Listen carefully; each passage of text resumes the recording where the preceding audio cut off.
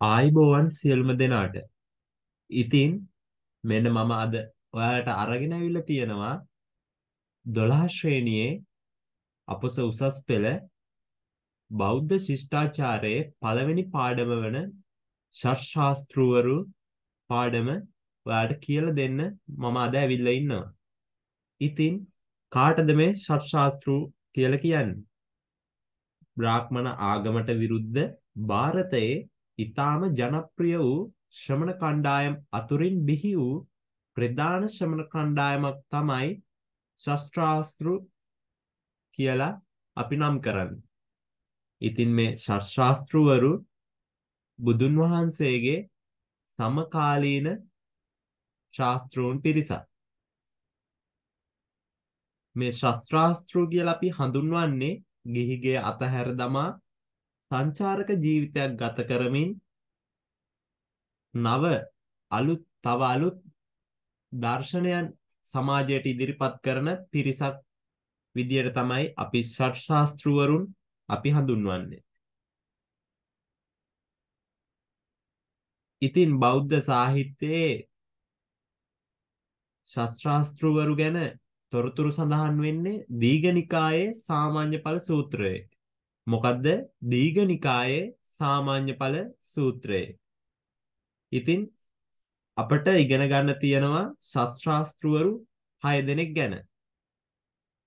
ඒ 6 දෙනා තමයි පූර්ණ කස්සප, අජිතකේස කම්බල, මක්කලී ගෝසාල, පකුද කච්චායන, සංජය බෙල්ලට්ටි පුත්ත, නිගණ්ඨනාත පුත්ත. ඉතින් මේ පූර්ණ කස්සප අකිරියවාදියෙක්. අජිතකේස කම්බල දසවස්තුක මිත්‍යා දෘෂ්ටිවාදියෙක්. ඒ වගේම භෞතිකවාදියෙක්. ඒ විදියට එයාලගේ වාද අපිට හඳුන්වලා දෙන්න පුළුවන්.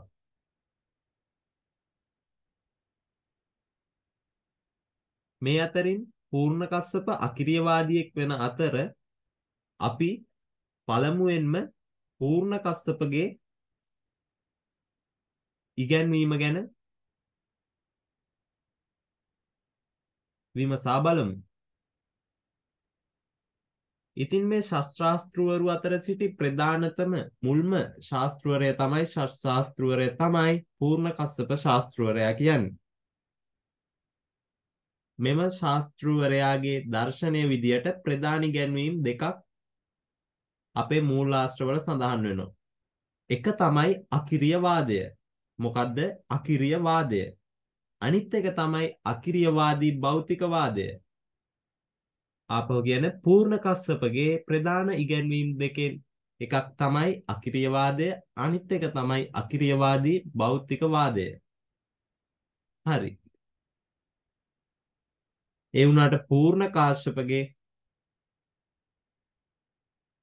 ප්‍රධානතම ඉගැන්වීම වන්නේ අකිරියවාදය. මොකද්ද ප්‍රධානතම ඉගැන්වීම ප්‍රධානතම ඉගැන්වීම වන්නේ අකිරියවාදයයි. අකිරියවාදය කියලා කියන්නේ මොකද්ද? අකිරියවාදය කියලා කියන්නේ හොඳ නරක ක්‍රියාවල කිසිදු විපාකයක් නැති බව. ඒ කියන්නේ හොඳක් කරත් විපාක නැතිලු නරකක් කරත් විපාක නැතිලු.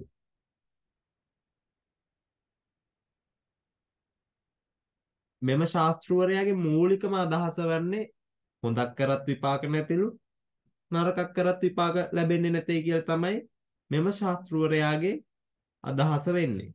මේ බව වඩාත් හොඳින් දීඝනිකායේ සාමාන්‍ය ඵල සූත්‍රයේ බෞද්ධ සාහිත්‍ය ග්‍රන්ථවල ඇතුළත් කරලා තියෙනවා.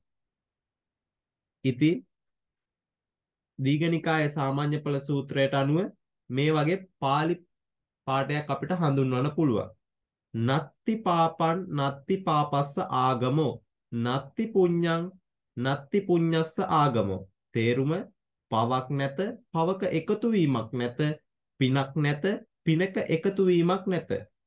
මොකද නත්ති පාපං නත්ති පාපස්ස ආගමෝ. කියන්න නත්ති පාපං නත්ති පාපස්ස ආගමෝ. නත්ති පුඤ්ඤං නත්ති පුඤ්ඤස්ස ආගමෝ. නත්ති පුඤ්ඤං නත්ති පුඤ්ඤස්ස ආගමෝ. එකම විදියට යන්නේ. නත්ති පාපං නත්ති පාපස්ස ආගමෝ. නත්ති පුඤ්ඤං නත්ති පුඤ්ඤස්ස ආගමෝ තේරුම තමයි පවක් නැත පවක එකතු වීමක් නැත. පිනක් නැත පිනක එකතු වීමක් නැත.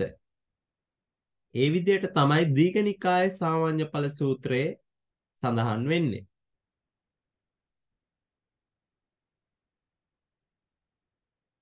සමාජයේ තියෙනෝනේ පාපී ක්‍රියාවන් ලෙස සැලකෙන දේවල් මොනවද? මිනී මැරීම, දූෂණ, හොරකම් කිරීම.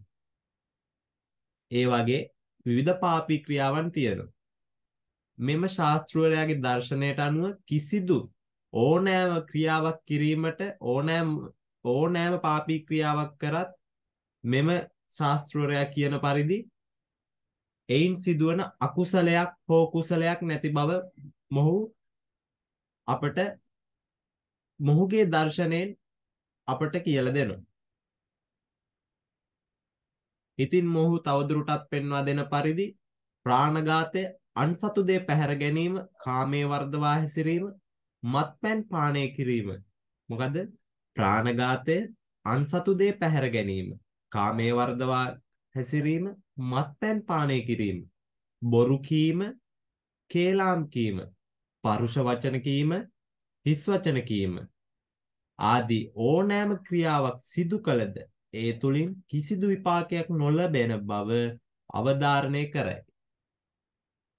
ඉතින් මොහු ප්‍රාණඝාතය කරත් පවක් නැතිලු. අන්සතු දේ පැහැරගත්තත් පවක් නැතිලු.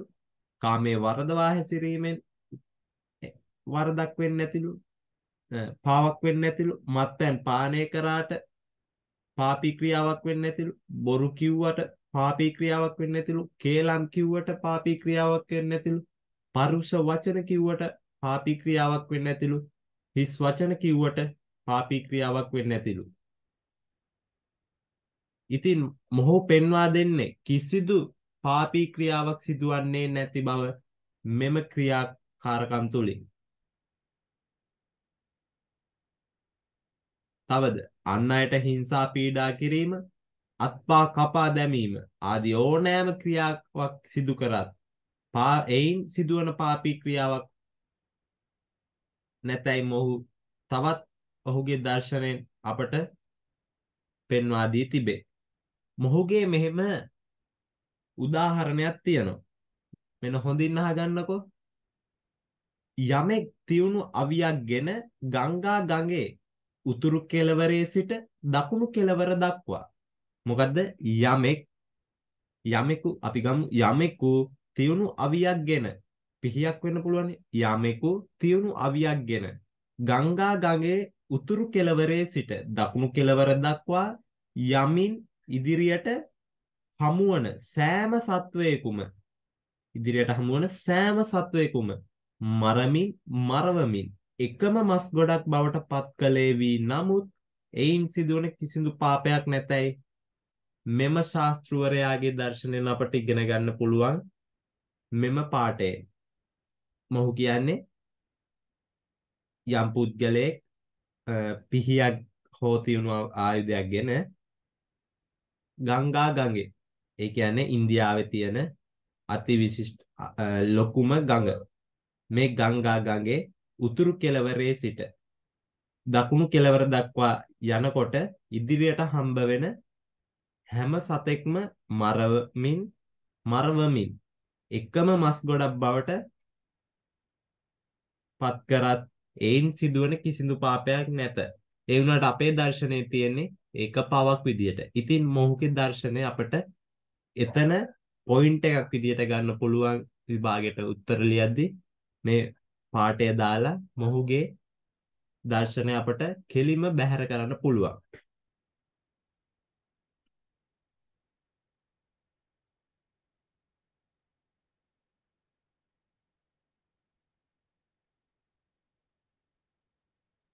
පූර්ණකස්සප ශාස්ත්‍රවරයා ස්වක්‍රීය දර්ශනයේදී ඊතා මනවින් අවබෝධ කරනු ලබන්නේ සමාජයේ යහපත් ශිෂ්ට සම්පන්න කිසිදු ක්‍රියාවක හොඳ විපාක නැති බවයි. ඒ කියන්නේ සමාජයේ යහපත් හොඳ ක්‍රියා තියෙන්නේ අන් අයට උදව් කිරීම, කන්න නැති අයට කන්න අරන් දෙන එක. දැන් ගොඩක් යහපත් දේවල් තියෙනවනේ. ඒ වගේ යහපත් දේවල් කරාට සමාජයේ හොඳට සිටියට එයින් සිදුවන හොඳ විපාකත් නැති බව මොහු වඩාත් මොහුගේ දර්ශනයෙන් පෙන්වනු. ඉතින් මොහු පවසන්නේ පවක් කරත් එයින් සිදුවන කර්මයක් නැතිලු යහපත් දෙයක් සිදු කරත් එයින් සිදුවන යහපත් දෙයක් නැති බවත් මොහු පවසනවා. ඒ බව තව දුරටත් මෙම ශාස්ත්‍රවරයා මෙසේ උගන්වයි. බලන්නකෝ. දන් දීමෙන්, සිල් රැකීමෙන්, ආත්ම දමනයෙන්, ඉන්ද්‍රිය සංවරයෙන් යුතුවද සිදුවන්න සිදුවන කුසලයක් නැත, පිනක් නැත, විපාක පැමිණවීමක් නැත. ඒ කියන්නේ දන් දීමෙන් යමෙකුට ආහාර වේලක් දුන්නොත් කියමු යමෙකුට ආහාර වේලක් දුන්නොත් හරි පංචශීලය රැකීමෙන් ඒක ගමුකෝ සිල් රැකීමට ආත්ම දමනේ. ඉන්ද්‍රිය සංවරයෙන් කාය වචන ඒ වගේ දේවල් ඉන්ද්‍රිය සංවර සංවරයෙන් යුතු උවද එයින් සිදුවන කුසලයක් නැති බව මෙම ශාස්ත්‍රවරයාගේ දර්ශනයෙන් අපට උගන්වලා තියෙනවා. කුසලයක් නැතිලු පිනක් නැතිලු එයින් අපට විපාක පැමිණීමක් නැතිලු. මේ අනුව ඔහු ඊටාම පැහැදිලිව අවධාරණය කරන්නේ හොඳ සහ නරක ක්‍රියාවල කිසිදු විපාකයක් නැති බව. ඉතින් අපට මේකත් මේ පාඩයත් අපට ප්‍රශ්න ප්‍රශ්නයකට උත්තර ලියද්දි ගන්න පුළුවන්. දන් දීමෙන් සිල් රැකීමෙන් ආත්ම දමනයෙන් ඉන්ද්‍රිය සංවරයෙන් යුතුවද සිදුවන කුසලයක් නැත. පිනක් නැත, විපාක පැමිණීමක් නැත. මේ අනුව මොහිතාම පැහැදිලිව අවධාරණය කරන්නේ මොකද්ද? හොඳ සහ නරක ක්‍රියාවල කිසිදු කිසිදු විපාකයක් නැති බව. තමයි මෙම ශාස්ත්‍රවරයා තව දුරටත් අපිට පෙන්වන්නේ. ඉතින් මේ පූර්ණ කස්සප ශාස්ත්‍රවරයාට නම ලැබුණු ආකාරය ඊටාම අලංකාරවත් ලෙස දීඝනිකායේ අටුවා ගන්ත්‍රය වූ සුමන්ගල විලාසිනී මොකද දීඝනිකායේ අටුවා ග්‍රන්ථය වූ සුමන්ගල විලාසිනී අටුවා ග්‍රන්ථයේ සඳහන් වන්නේ මෙසේය. ඔන්න හොඳට අහගන්නකො මොහුගේ මව ගෝත්‍ර නාමය මොහුගේ මවගේ ඒ කියන්නේ පූර්ණ කස්සපගේ ගෝත්‍ර නාමය පූර්ණකස්සපගේ මවගේ ගෝත්‍ර නාමය කාශ්‍යප. එක්තරා නිවසක සිටුවරයෙකුගේ නිවසක බැල මෙහෙවරකම් කරමින් මොහුගේ මවට එම නිවසෙහි දාසයන් සියය සම්පූර්ණ කර ඒ කියන්නේ එක්තරා නිවසක සිටුවරයෙකුගේ නිවසක බැල සිටුවරයෙක් ඒ කාලේ සිටුවරු හිටියනේ ඒ නිවසේ බැල මෙහෙවරකම් කරමින් මොහුගේ මවට ඒ කියන්නේ මොහුගේ මවත් ඒ ගිහිල් සිටුවරෙක් ගාවට ගිහිල්ලා බැල මෙහෙවරකම් කරන්න. ඒ කියන්නේ එතකොට ඉඳලා තියෙන සිටුවරේ ගාව බැල මෙහෙවරකම් කරන්න 16 දාස දාසියෝ ඉඳලා තියෙන 99. ඒ කියන්නේ පූර්ණ කාශ්‍යපගේ මව ගිහින් එතන සිටුවරයා ගාව බැල මෙහෙවරකම් කරන්න පටන් ගත්තම 100 සම්පූර්ණ වෙලා. අන්න ඒක තමයි කියන්නේ. ඉතින් මොහුගේ මවට 16න් 100 සම්පූර්ණ වෙලා. සම්පූර්ණ කරන නිසා ඒත් සමගම පූර්ණ කාශ්‍යප උපත ලබා තිබෙනවා. උපත ලබා තිබෙනවා. මේ නිසා පූර්ණ යන නම ඔහුගේ පුතාට පට බැඳුණා. කෙසේ නමුත් මහාචාර්ය ගුණපාල මලලසේකර මහතා පෙන්වා දෙන්නේ නුවණින් මුහුකුරා ගොස් සර්වඥතා ඥාණයෙන් සම්පූර්ණ වූ නිසා පූර්ණ කාශ්‍යප ලෙස හඳුන්වන ලෙසයි මේ පූර්ණ කාශ්‍යපව. ඉතින් ඒ වගේ සාහිත්‍යයක් පූර්ණ කාශ්‍යපහට තියෙනවා.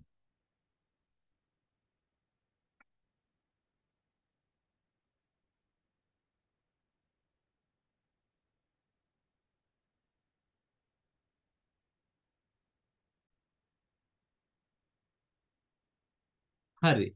ඉතින් අපි පූර්ණ කස්සප ගැන ඒ විදියට ඉගෙන ගත්තා. ඒ කියන්නේ පූර්ණ කස්සපගේ සම්පූර්ණ ජීවන රටාව පූර්ණ කස්සපගේ ඉගැන්වීම අපි ඉගෙන ගත්තා. හරි ඊළඟට ඉතුරු වෙලා ඉන්නේ පස් දෙනයි. ඒ තමයි අජිතකේස කම්බල මක්කලි ගෝසාල පකුද කච්චායන සංජය වෙල්ලටි පුත්ත නිගණ්ඨනාත පුත්ත සංජය බෙල්ලටි පුත්ත නිගණ්ඨනාත පුත්ත හරි අපි ළඟට යමු අජිතකේස කම්බල ශාස්ත්‍රවරයාගේ ඉගැන්වීම් බලන්න අජිතකේස කම්බල ශාස්ත්‍රවරයා දසවස්තුක මිත්‍යා දෘෂ්ටියකි ඒත් සමගම භෞතිකවාදියකි හරි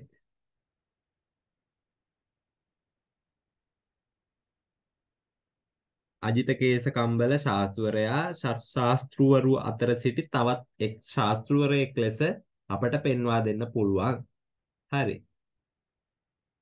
මොහුගේ සංකල්ප පහක් පිළිබඳව මූලාශ්‍ර ග්‍රන්ථවල සඳහන් වෙනවා. ඒ මොකද්ද? ඒ සංකල්ප පහ මොකද්ද? මෙන්න අහගන්න. දසවස්තුක මිත්‍යා දෘෂ්ටිය. අංක 1 දසවස්තුක මිත්‍යා දෘෂ්ටිය දෙක.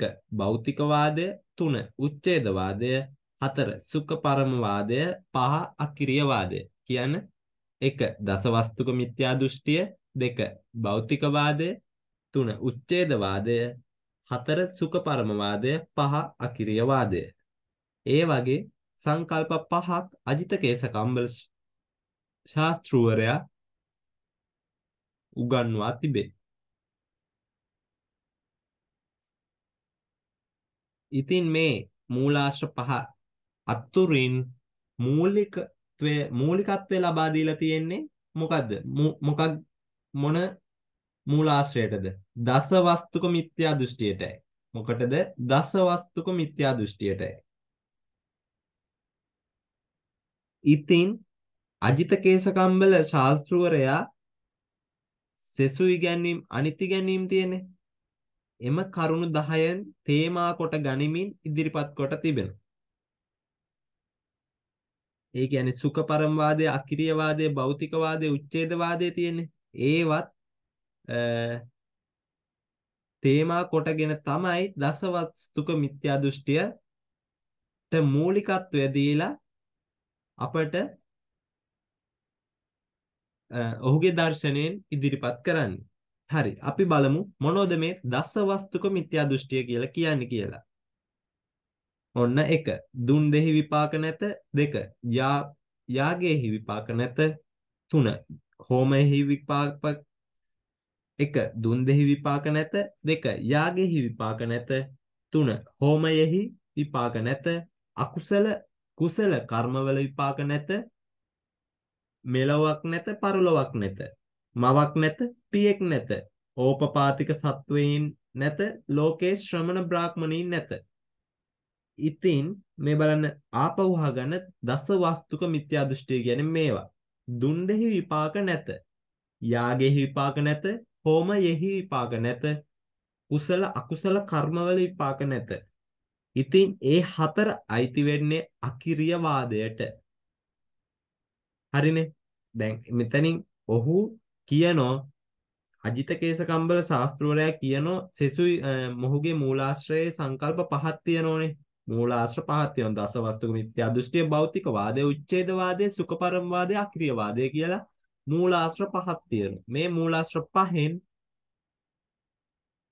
මොහු මූලිකත්වය ගැන කටයුතු කරන්නේ දසවස්තුක මිත්‍යා දෘෂ්ටියට දසවස්තුක මිත්‍යා දෘෂ්ටියට අනෙක් සෙසු ඉගැන්වීම් ගැබ් වෙලා තියෙනවා. ඉතින් මම කියන්නේ දස වස්තුක මිත්‍යා දෘෂ්ටියට 10ක් තියෙනෝනේ කරුණු. ඒ කරුණු 10න් හතරක් වෙන දුන් දෙහි විපාක නැත, යාගේ විපාක නැත, හෝමයේ විපාක නැත, කුසල අකුසල කර්මවල විපාක නැත කියන මේ කරුණු හතර අකිරිය වාදයට තමයි ඇතුළත් වෙන්නේ. හරිනේ.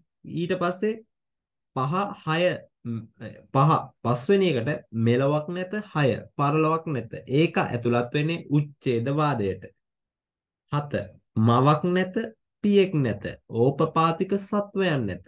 ලෝකෙහි ශ්‍රමණ බ්‍රාහ්මණීන් නැත. මේක ඇතුළත් වන්නේ භෞතික වාදයටයි මේ හතර ඇතුළත් වෙන්නේ භෞතික වාදයටයි ඉතින් මෙම දස වස්තුක මිත්‍යා දෘෂ්ටියේ මෙම කරුණු 10 තුලින් අවධාරණය කරන්නේ නාස්තිකවාදය නැමැති ඉගැන්වීමයි. ඉතින් මොහුගේ ඊළඟ ඉගැන්වීම තමයි භෞතිකවාදය. දැන් දසවස්තුක මිත්‍යා දෘෂ්ටිය ගැන අපි කතා කරා. ඊට පස්සේ මොහුගේ අනිත් ඉගැන්වීම තමයි භෞතිකවාදය. භෞතිකවාදය කියලා අපි හඳුන්වන්නේ සතර මහා භූතයන් තුලින් සියල්ල හට ගන්නා බවයි. ඈ මොකද මේ සතර මහා භූතයන් කියලා කියන්නේ? අපි බලමු දැන් සතර මහා භූතයන් කියන්නේ මොනවද කියලා.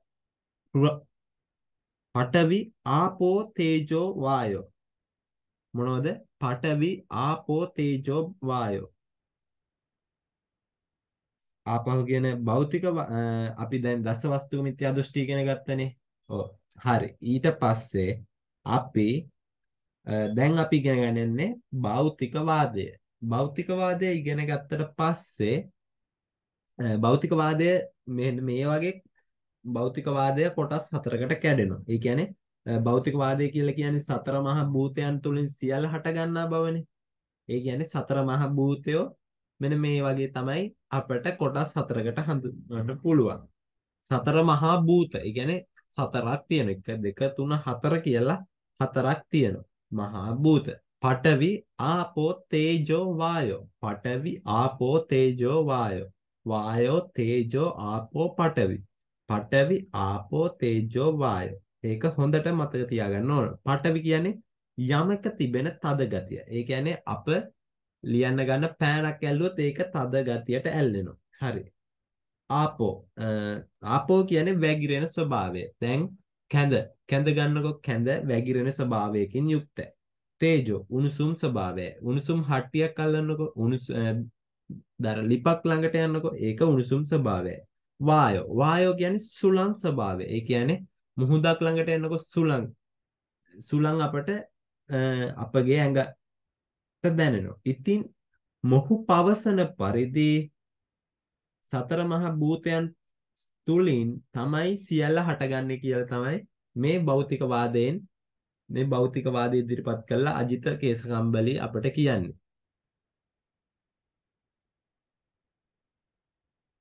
මෙම සතර මහා භූතයන්ගෙන් හටගන්නා ලද සියල්ලම විනාශ වීමේදී සතර මහා භූතයන්ටම එකතු වෙනවලු.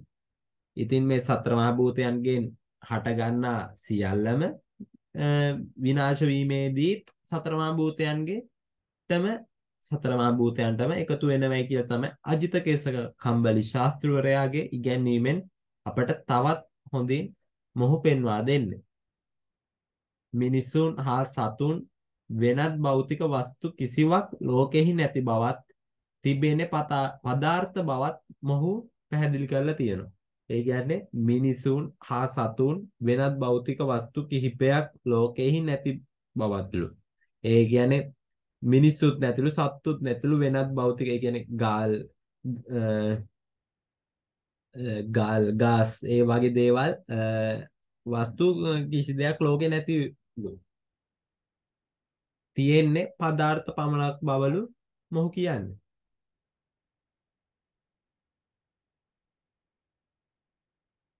ඉතින් මෙම ශාස්ත්‍රවරයා උච්ඡේදවාදී චින්තනය තුළින් අවධාරණය කරන්නේ භවයෙන් භවයට යන ස්ථීර වූ සදාකාලික වූ ආත්මයක් නැති බවයි. ඉතින් මෙම ශාස්ත්‍රවරයාගේ උච්ඡේදවාදී චින්තනයක් තියෙනවා. ඉතින් මේ උච්ඡේදවාදී චින්තනය තුලින් අවධාරණය කරන්නේ භවයෙන් භවයට යන. ඒ කියන්නේ දැන් අපි මේ භවයේත් ඉපදුනා නැවත ආත්මයක තවත් භවයක ඉපදෙන එක. මොහු පවසන්නේ දැන් අපි හොඳ පින් කළ හොඳට හිටියොත් මේම ආත්මේ ලබන ආත්මේ මනුස් මනුස්සාත්මයක් දේවාත්මයක් ගන්නට පුළුවන්. ඉතින් මොහු පෙන්වා දෙන්නේ ඒ අපේ දර්ශනේ නමුත් මොහු පෙන් අජිත කේස කම්බල ශාස්ත්‍රවරයා පෙන්වා දෙන්නේ එසේ නොව භවෙන් භවයට යන ස්ථිර වූ සදාකාලික වූ ආත්මයක් නැති බව තමයි මොහු පෙන්වා දෙන්නේ උච්චේතවාදී චින්තනය තුලින්. එසේම මොහු සුඛ පරමවාදයේද ප්‍රබල ලෙස උගන්වලා තියෙනවා.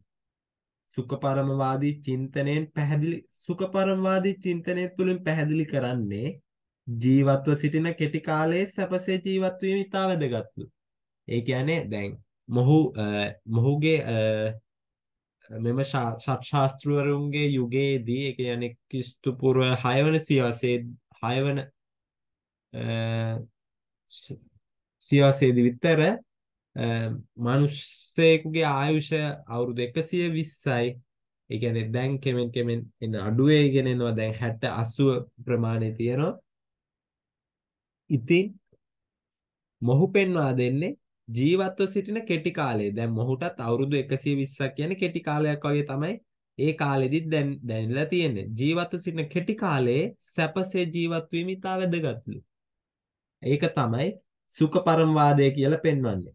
අපිට මෙතන වචන දැන් අපිට හම්බුණා දසවස්තුක මිත්‍යා දෘෂ්ටිය හම්බුණා භෞතිකවාදය හම්බුණා ඊට පස්සේ අපිට පොඩි පොඩි මාතෘකා කැලි තුනක් හම්බුණා අජිත කේස කම්බලි උච්ඡේදවාදී චින්තනය උච්ඡේදවාදී චින්තනය ඔන්න අපි ඒක ගමුකෝ උච්ඡේදවාදී චින්තනය කියන්නේ ස්ථිර වූ සදාකාලික වූ ආත්මයක් නැති බවයි. ඒ කියන්නේ භවයෙන් භවයට යන ස්ථිර වූ සදාකාලික ස්ථිර ස්ථිර නැහැ. ස්ථි දැන් ස්ථිර නැහැ. ස්ථිර භවයෙන් භවයට වූ ස්ථිර වූ සදාකාලික වූ ආත්මයක් නැති බවයි. තේරුණානේ? උච්ඡේදවාදී චින්ත මේ පොඩි අනුමාත්‍රිකා තුන තුන ගැන තමයි මම කියන්නේ. උච්ච උච්ඡේදවාදී චින්තනයෙන් මොහු අදහස් කරන්නේ භවෙන් භවයට යන ස්ථිර වූ සදාකාලික වූ ආත්මයක් නැති බව තමයි උච්ඡේදවාදී චින්තනයෙන් කියන්නේ. හරිනේ. ඊට පස්සේ මොහු සුඛ පරමවාදී චින්තනයෙන් අපට අදහස් පළ කරන්නේ ජීවත්ව සිටින කෙටි කාලයේ මේ අවුරුදු එක ඒ කාලෙදී අවුරුදු 120 නේ මං කිව්වේ ජීවත්ව සිටින කෙටි කාලයේදී සැපසේ ජීවත් වීම ඉතා වැදගත් කොට සලකන්නේ සුඛ පරමවාදී චින්තනය තුලින් හරිනේ ඊට පස්සේ භෞතිකවාදය අපට හඳුන්වා දෙන්න පුළුවන් සතර මහා භූතයන් තුලින් සියල්ල හට ගන්නා බව. සතර මහා භූතය කියන්නේ කියලා මම මොකද්ද කියලා කිව්වා? පඨවි ආපෝ තේජෝ වායෝ. පඨවි කියන්නේ යමක තිබෙන තද ගතිය ආපෝ. යමක තිබෙන වැగిරෙන ස්වභාවය. තේජෝ යමක තිබෙන උණුසුම් ස්වභාවය. වායෝ යමක තිබෙන සුළං ස්වභාවය. ඉතින් මම මේ ටික වලට උදාහරණක් කිව්වා. ඉතින් මොහු සුඛ පරමවාදී චින්තනය තුලින් වඩාත් හොඳින් පැහැදිලි කරන්නේ ඒ කියන්නේ සුඛ පරමවාදී චින්තනය කියන්නේ ජීවත්ව සිටින කෙටි කාලයේ සැපසේ ජීවත් වීම ඉතා වැදගත් බවලුනේ. ඉතින් මොහු මෙන්න මේ වගේ හොඳ පාඩයක් කියනවා. මේ නිසා ණය වී හෝ ගිතෙල් අනුභව කරමින් සැපසේ වාසය කළ යුතුයි. දැන් ජීවත්ව සිටින කෙටි කාලයේ සැපසේ ජීවත් වීම ඉතා වැදගත් කොට මොහු සුඛ පරමවාදී චින්තනය තුලින් වඩාත් හොඳින් පෙන්වා දීලා තියෙනෝනේ. ඉතින් මේ නිසා මොහු කියනෝ මේක උද්ෘත දාලා ලියා ගන්න ණය වී හෝ ගිතෙල් අනුභව කරමින් සැපසේ වාසය කළ යුතු බව මෙම ශාස්ත්‍රවරයාට අවශ්‍ය වෙලා තියෙනවා. ඒ බව මොහුගේ අනෙකුත් සෙසු පිරිසට දර්ශනයක් විදියට උගන්වලා තියෙනවා. පින්, පව්, කුසල්, අකුසල් ඉවත දමා මිනිසත් සැප වින්දනයට යොමු කිරීමයි. හරිනේ. මෙම ශාස්ත්‍රවරයාට අවශ්‍ය වෙලා තිබ්බේ පින්පව් කුසල් අකුසල් ඉවත දමා මිනිසා සැප වින්දනයට යොමු කිරවීම. ඒ කියන්නේ මෙම අර අපිට පූර්ණ කස්සපට වඩා පොඩි වෙනසක් මෙයාගේ බලා ගන්න පුළුවන්. කාගෙන්ද අජිත කේස කම්බල ශාස්ත්‍රවරයාගේ. මොහු කියන්නේ ණය වී හෝ ගිතෙල් අනුභව කරමින් සැපසේ වාසය කළ යුතු බවත් මොහු පෙන්වා දෙනවා. මෙම ශාස්ත්‍රවරයාට අවශ්‍ය වෙලා අවශ්‍ය වෙලා තියෙන්නේ පින් පින් දැන් අපි දන්නෝනේ අපේ බෞද්ධ චින්තනය තුල දර්ශනය තුල පින් පව් අකුසල් කුසල් කියන දේ දන්නෝනේ. ඉතින් මේම මේ අජිතකේස කම්බල ශාස්ත්‍රවලට අවශ්‍යලා තියෙන පින් පව් කුසල් අකුසල් ඉවත දාලා මිනිසා සැප වින්දනයකට යොමු කිරීම. අපේ දර්ශනය නම් සැප වින්දනයකට නිතරම යොමු වීම අමූලික ශද්ධාවක් ලෙස තමයි අප පෙන්වන්නේ. අමූලික දෙයක් බොරු දෙයක් විදියට තමයි අපේ දර්ශනයෙන් පෙන්වන්නේ. ඉතින් මොහු මෙම ශාස්ත්‍රවරයා මෙම ශාස්ත්‍රවරු 6 දෙනාගෙම අපට කිසිදු උදාහරණයක් ඒ කියන්නේ ආදර්ශයක් ගන්නට බැහැ. මොහු මෙම අධික වෘත්තානුගමනය කරලා තියෙනවා. ඉතින් මෙම මේවා බොරු වැඩ කියලා අපට මෙම ශාස්ත්‍රවරයා 6 දෙනාගෙන් 6 ශාස්ත්‍රවරු 6 දෙනාම ඉගෙන ගත්තාම අපට ඉගෙන ගන්න දැනගන්න පුළුවන්. හරි. ඉතින් මොහු කියන්නේ මෙම ශාස්ත්‍රවලයා කියන්නේ පින්පව් කුසල අකුසල් ඉවත දමා මිනිසා සැප වින්දනයකට යොමු කරවීම තමයි මෙම ශාස්ත්‍රවලයා කියන්නේ. ඔහුගේ උච්ඡේදවාදය සුඛපරමවාදය ਸਰව දර්ශන සංග්‍රහයේ නැමැති ග්‍රන්ථයෙන් මෙසේ සඳහන් වෙනවා. ඔන්න බලන්නකෝ. ඒ කියන්නේ උච්ඡේදවාදය සුඛපරමවාදය දැම්ම ඉස්සෙල්ලා කිව්වනේ. අන්න ඒව තමයි ਸਰව දර්ශන සංග්‍රහයේ සර්ව සංග්‍රහයෙන් නැවති සංග්‍රහයේ නැවති ග්‍රන්ථයේ මෙසේ සඳහන් වෙන්නේ. බලා ගන්නකො. යාම් ජීවේත් සුකන් ජීවේත් රිනාන් කත්වා රිතාන් ජීවේත් බෂ්මි කෘත්‍රස්ය දේහස්ය පුනරාගමනං කෘතං ඔබට මෙම පාඩය පාඩම් නැත හෝ නැත්නම් මෙන්න මේ විදිහට සිංහල තේරුම කියන්නකෝ යම්තාක් ජීවත් වන්නේ නම් සැපසේ ජීවත් වන්න. ඒ කැල මතක තියාගන්න යම්තාක් ජීවත් වන්නේ නම් සැපසේ ජීවත් වන්න. ඒ කියන්නේ අප දැන් ඔන්න පිළිකාවක් තියෙනවා. ડોක්ටර් කියනවා තව අවුරුදු 10 වලට ඉන්න පුළුවන්. ඉතින් මෙයා අවුරුදු 10කට ටාගට් එක හදලා මෙයාට ඕන දේවල් මෙයාට සල්ලි තියෙනවා මෙයාට ඕන දේවල් යන්න ඕන රටවල් මෙයාට ගන්න ඕන වාහන කාර් ඒවා සේරම ලියලා තියෙනවා මෙයා සේරම අරගන්න. ඔන්න පිළිකාවක් හැදිලා අවුරුදු 10යි. එහෙම හිතාගෙන යම් තාක් ජීවත් වන්නේ නම් සැපසේ ජීවත් වන්න. ණය වී හෝ ගිතෙල් අනුභව කරන්න. ණය ඒ කාලේ ගිතෙල් අනුභව කරනවා කියන්නේ ඊටාම රජ දැන් අපිට මේ කාලේ දැන් අප මේ වර්තමානයේ තියෙන මිලාදිකමක් කෑම જાතිය කියන්නකෝ. මිලාදික කෑම જાති ගොඩක් තියෙනවා. ඉතින් ඒ වුණාට ඒ කාලේ දැන් වර්තමානයේ ගොඩක් තිබුණට ඒ කාලේ එකක් දෙකක් තුනක් වගේ පොඩි අතලොස්සක ප්‍රමාණයක් තමයි මිලාදික දේවල් ඉතා පෝෂක පදාර්ථයෙන් ගුණ අනූන දේවල් තිබුණේ. ඉතින් එයින් එකක් තමයි ගිතෙල් කියලා කියන්නේ. ඉතින් ණය මේම ශාස්ත්‍රවලයක් දෙවෙනියට කියනවා ණය වී හෝ ගිතෙල් අනුභව කරන්නලු. පළවෙනියට කිව්වේ යම් තාක් ජීවත් වන්නේ නම් සැපසේ ජීවත් වන්න ණය වී හෝ ගිතෙල් අනුභව කරන්න. තුන්වෙනුවට කියනවා අලු බවට පත් කළ ශරීරයේ නැවත ඉපදීමක් නැතිලු. මොකද්ද මොහු කියන්නේ? අලු බවට පත් කර ශරීරයේ නැවත ඉපදීමක් නැතිලු. දැන් හරිනේ. හරි කියන්නේ දැන් අලු බවට පත් වෙනෝනේ අනිවාර්යෙන් අපගේ ශරීරය. අප මැරුණහම එම ශරීරය ආදාහනාගාරයකට ගොස් ගෙන ගොස් අපගේ ශරීරය අනිවාර්යයෙන්ම පුච්චනවා. ඒක පුච්චනෝනේ නැත්තම් වල දැම්මත් ඒ ශරීර කොටස් දි รา පත් වෙලා යනවා. කෙසේ වෙතත් මොහු පෙන්වා දෙන්නේ යම්තාක් ජීවත් වන්නේ නම් සැපසේ ජීවත් වන්න ණය වී හෝ ගිතෙල් අනුභව කරන්න අලු බවට පත් කළ ශරීරයේ නැවත ඉපදීමක් නැත. ඒ විදිහට තමයි මම අර ඉස්සෙල්ල කිව්ව පාඩේ සිංහල තේරුම් වන්නේ. ඉතින් අපිට ඒක සිංහල තේරුමෙන් වඩාත් හොඳින් කියන්න පුළුවන් පාලියට ලියන්න විභාගයට ආවත් ලියන්න පුළුවන් අජිත කේසකම්බල ගැන මෙම පාඩයක් දාලා ලස්සනට ලියන්න පුළුවන් ප්‍රශ්නයට යම්තාක් ජීවත් වන්නේ නම් සැපසේ ජීවත් වන්න ණය වී හෝ ගිතෙල් අනුභව කරන්න අලු බවට පත් කළ ශරීරයෙන් නැවත ඉපදීමක් නැති බව මොහු වඩාත් හොඳින් දක්වා ඇත. මෙම ශාස්ත්‍රවරයාට නම ලැබිලා තියෙන ඒ කියන්නේ අජිත කේසකම්බලට ශාස්ත්‍ර අජිත කේසකම්බලට මෙම ශාස්ත්‍රවරයාට නම ලැබිලා තියෙන්නේ කෙස් වලින් කළ කබායක් භාවිතා කරපු හින්දලු. ඒ කියන්නේ කෙස් වලින් වහගත වූ කබායක් භාවිතා කරපු හින්දා තමයි අජිත කේශකම්බල ශාස්ත්‍රවලයා විදියට නම පට බැඳිලා තියෙන්නේ.